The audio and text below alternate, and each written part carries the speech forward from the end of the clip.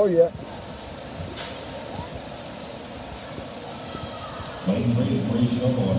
Nice turn. Boom. Again, 17 turn, Hannah Baxter. D4 is important to the deck.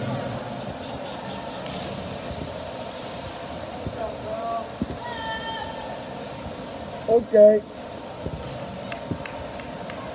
Hetrick Bilba, 2660.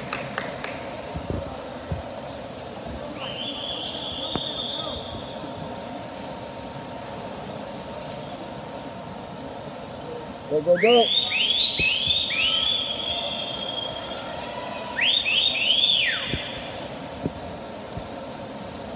So yeah. Hetrick, uh, 55-7, right. 29-1 on that split. Then it closed the gap on 28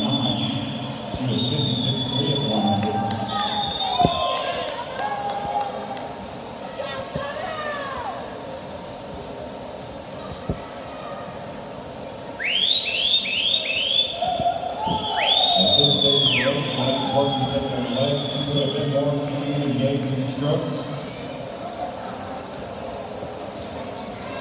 And that is Monica Florida now with the lead, 29 3 and 125 6. Good energy and tempo on the back half here by Minnick.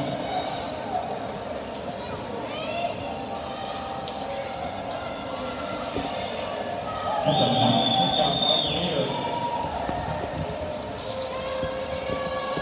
Paige Eckert battling though, and at the touch is Paige Eckert. Yeah, Paige!